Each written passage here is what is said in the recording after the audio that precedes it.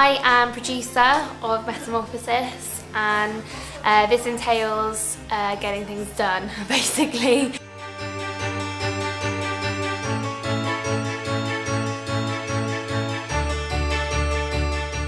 I have to um, be in conversations with lots of people at lots of different times um, and people that I can't necessarily get hold of. Um, organising schools to come here can be quite challenging. I, I've never seen anything quite like this to be honest but it's good really really good I chose this story because it's probably one of the most intriguing and disturbing of Kafka's short stories it tells the tale of a guy called Gregor Samsa who wakes up one morning to find himself transformed into a gigantic insect. It's an extremely worrying and troubling story about how people cope with change, about family relationships, um, about life as well at the beginning of the 20th century to an extent.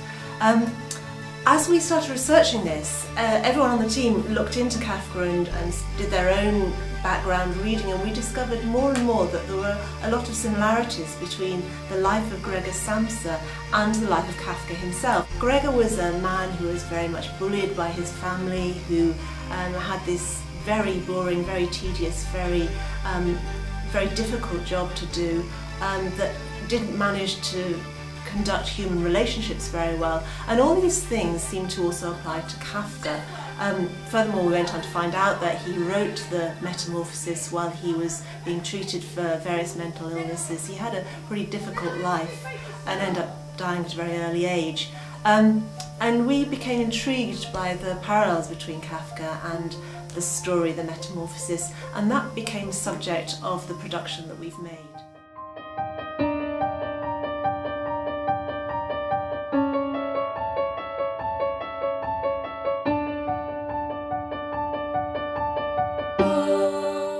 Basically responsible for organising all the music and arranging and recording the music for the play.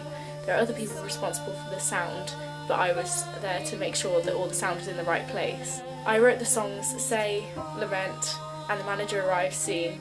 To begin with, it wasn't going to be a musical, it's just that I decided to try one of my songs on for Liz and it went down really well and then practicing it with the group it sounded so good as a choir and so I wanted more songs from it so I created Lament and just after that it became a musical. Music makes it really sort of stand out as a university play because I thought it was just going to be a normal theatre piece and then we just experimented with all this music and it became really exciting and uh, it's just great to be able to market it in that way, in that like for our campus promotion students went off and sung Dodie Lee around campus and that really attracted the attention of other people and also we've done a CD where some of the main tracks are on there.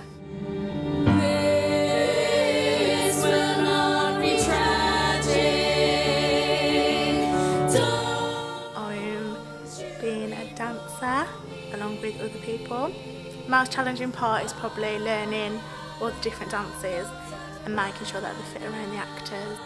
I am the um, scenographer. The most challenging part is making sure it fits in with what sort of messages we're trying to get across. I'm fed up with getting up every morning to catch the early train to work. Work out the connections I have to make. If one train's delayed, I'm late for all my meetings. One of the things we did, as well as using the story itself, was to um, use bits of writing, autobiography and biography um, about Kafka himself. And so we have interspersed with the scenes from the story, um, text appears projected into the stage area, which actually tells something of Kafka's life. My whole family rely on me to keep food on the table, and I have to achieve or father be disappointed. Oh, I wish I could just give it all up and write. Yes. So, it's what I do. Instead, I'm stuck here with these people! Hi, I'm Helen and I play the part of one of the Kafkas slash Gregors in this production. Um, I think the most challenging part about this role is um, the fact that we've got two different people playing Gregor slash Kafka and we're constantly having to like switch personalities between the two, um, the writer and then the um, person within the novel, Gregor. Um, it's quite like a Brechtian technique to alienate the audience from the main character, so with the two characters doing that, and it kind of establishes to the audience the two different personalities involved in the play.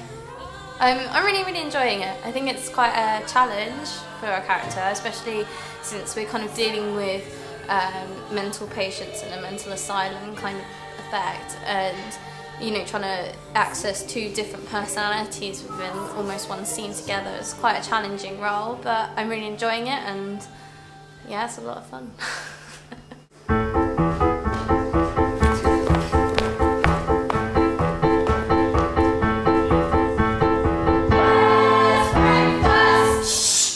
Kafka spent quite a lot of his life um, living in various um, sanatoriums and mental asylums, as they were known in those days, being treated for his um, depression and, and mental illness.